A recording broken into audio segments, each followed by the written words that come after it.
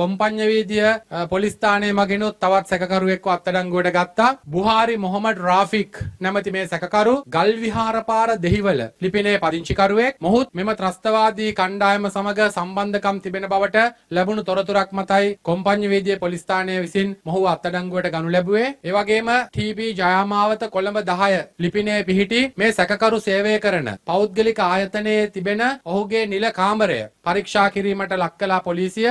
එහිදී මේ නිල කාමරයේ අ, මේ සැකකරුගේ නිල කාමරයේ සංගවා තිබූ මුදල් රුපියල් ලක්ෂ 83කට අධික මුදලකුත් ඒ වගේම ග්‍රෑම් 776කට අධික එනම් පවුම් 97ක් පමණ වෙන රන්නාභරණත් සොයා ගැනීමට හැකියාව ලැබුණා. ඒ වගේම මේ සැකකරුගේ දෙහිවල පිහිටි සුපිරි නිවසකුත් ඒ වගේම තවත් බැංකු ගිණුම් කිහිපයකුත් අනාවරණය වුණා. මේ සැකකරුවත් රඳවා තබාගෙන විමර්ශන සිදු කරනු ලබනවා.